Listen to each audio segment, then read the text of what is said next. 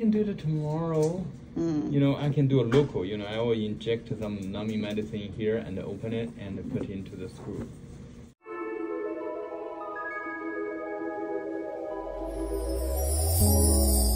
Tell me what you see in me. Gotta be something different. Hey, what's up, you guys? It's your girl Amber, and we are back with another video. Don't come for my hair. I had to have my neighbor do it because y'all, if y'all haven't seen my last video, your girl is out of commission, okay? Y'all haven't seen that last video, make sure y'all check that out. Your girl is out of commission, you guys. Like, I can't even, hold on.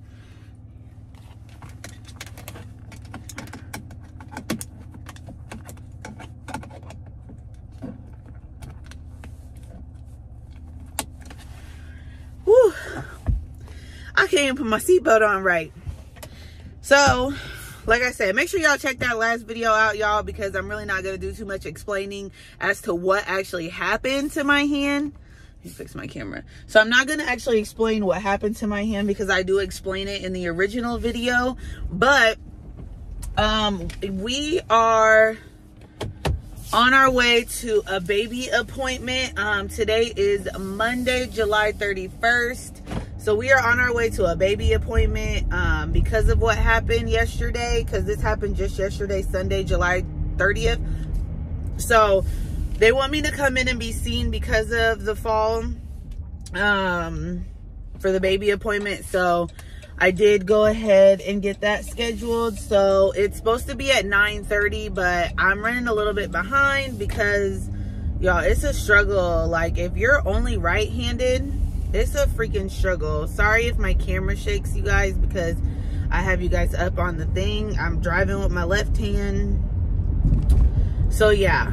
I am headed to a baby appointment for 9.30 to get everything checked out with the baby. Make sure he's okay make sure like nothing seriously happened to him when I fell yesterday because yeah it was a mess but um yeah and then I have my appointment to go see the uh I'm trying to get y'all a little bit uh so it's not so shaky it's still shaky whatever so then I have an appointment at 2:30 to go see the doctor um, for my hands. So that's what we're doing today. Today's a Monday. What a lovely Monday to have nothing but appointments. Running, running, running. I'll keep y'all as updated as I can. Like I said, if y'all haven't checked out that last video, make sure y'all check that out. I have literally been in the ER the past week. The following weekend before last, I was just in the ER for three days with a kidney infection. If y'all ain't checked out that video, make sure y'all check that one out but it's been a struggle i've been to the hospital for everything but having this baby so ugh, it's just been a struggle y'all i'm gonna go ahead and get up with y'all when i get to this doctor's let y'all know what's going on because this phone is shaking too bad and i don't want y'all sitting here watching it shake but i'll let y'all know what happens when i get to the doctor's appointment and keep y'all updated like the opposite side of the hospital. Yeah, like the OB. The OB part, yeah. Uh-huh. So that's just all they told me there. Yeah.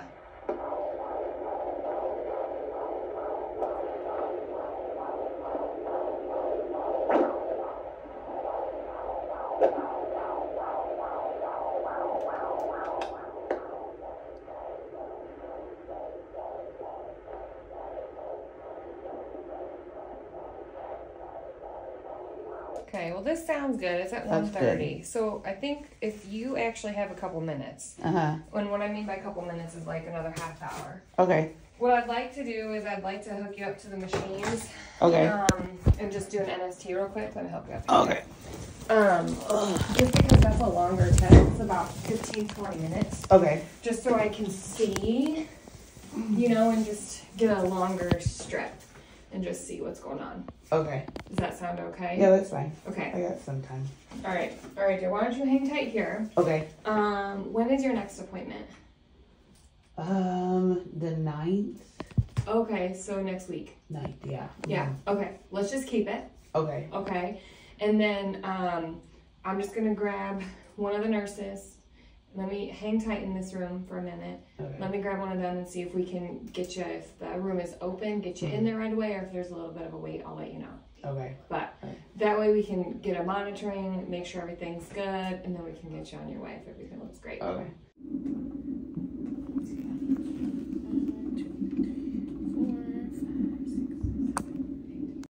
All right, you guys. So we are done with the appointment. Honestly, I feel like that was a total waste of my time, if I'm being like honest. Um, she checked the baby's heartbeat. The baby's heartbeat was good. It was 144. I had already knew the baby's heartbeat was good yesterday. Um, so I really don't. I mean, they just did the same thing that they did yesterday at the hospital. Checked the baby's heartbeat, hooked me up to the heartbeat thing monitor.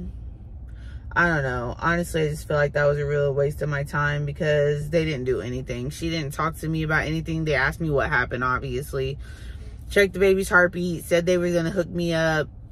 Baby was fine. That was it. And then they were like, okay, see you at your next appointment. So, like, I honestly feel like that was just a huge waste of my time, if I'm being honest. But right now, I'm about to go get something to eat. It's 1041 and then go back to work and then wait for my next appointment with the surgeon at 9 or 2.30 that appointment is really the only point appointment that matters to me honestly because i want to know what they're going to do about my hands. So yeah i'm about to head back home to log back into work and then wait for my next appointment. So much fun. Here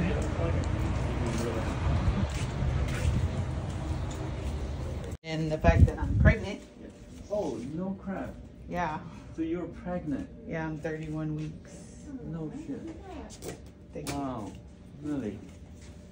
You dislocated that joint? Mhm. Okay. And also fractured it- this thing. Uh, you know, you see you have a fracture on it. yeah Uh, I mean, the most difficult thing that, you know, I mean, this, uh, this, this is a very unstable fracture. hmm This one, you see? yeah And your finger must be twisted. yeah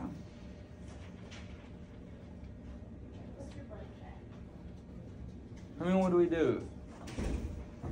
I don't know.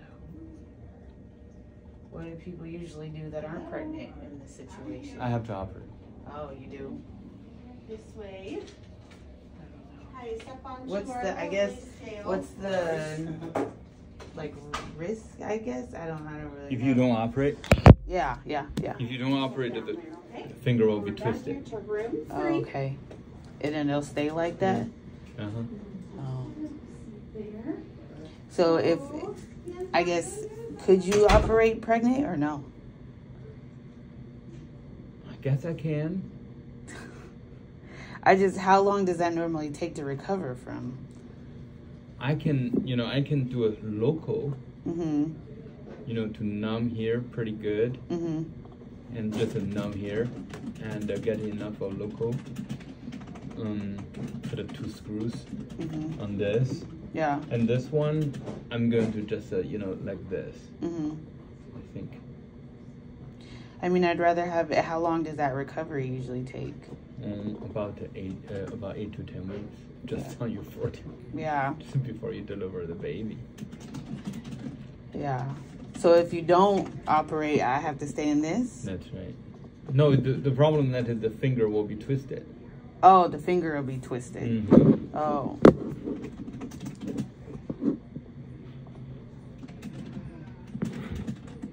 That's how it looks right now. Yes, With the yes, cast on. yeah. Or, oh, okay.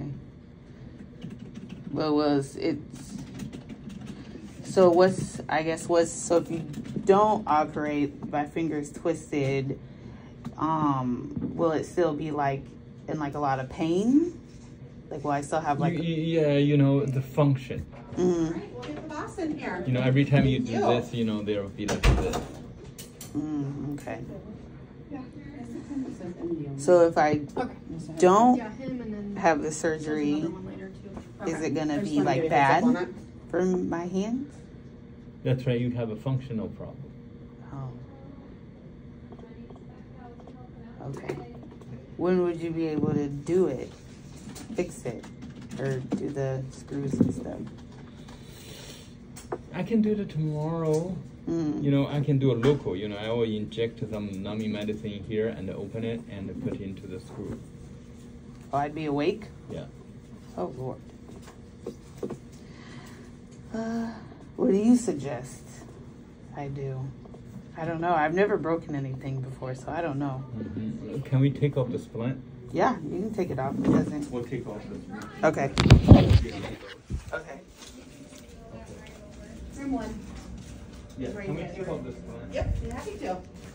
All right, y'all. So we are back home from the appointment. And as you guys heard in the clip that I inserted, he wanted to do surgery.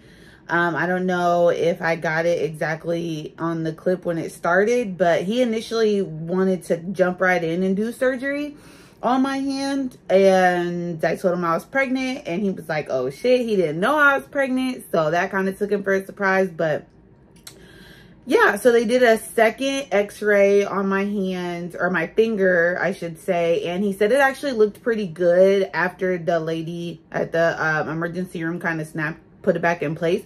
So he said it looked good, but the problem is, is that he still wanted to do surgery. Basically, he told me he would numb my hand, open it up and put two screws in it. I don't know if you guys heard that. I don't know if that was a part of the clip. I know he had came back in the room um, and said it. He kind of popped in and out really fast, so I didn't get a chance to really record everything. The recording that you heard was actually just in the main hallway part where he was showing me the x-ray and explaining to me and I was asking questions as you guys heard because I'm just like super confused. Like, you know, I'm, I don't want to get to the point where I can't work and I can't take care of my baby. So, you know, I had a lot of questions and, um, yeah, I was super confused. So what they did was they put me back in one of these. Um, but the thing about this one is it's three of my fingers. So now I only have two fingers out. I had three fingers out in my last one, but he said, basically he was like, I'm going to compromise with you and, um, re-put you in a splint and then we'll see you next week because he wanted to do surgery. I mean, like he really wanted to do surgery like tomorrow. He was willing to cut my hand open and do surgery tomorrow.